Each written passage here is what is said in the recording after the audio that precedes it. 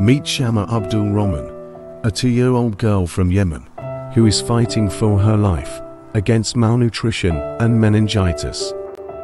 Shamah wasn't always this sick. She was a happy and active child until she started to get sick.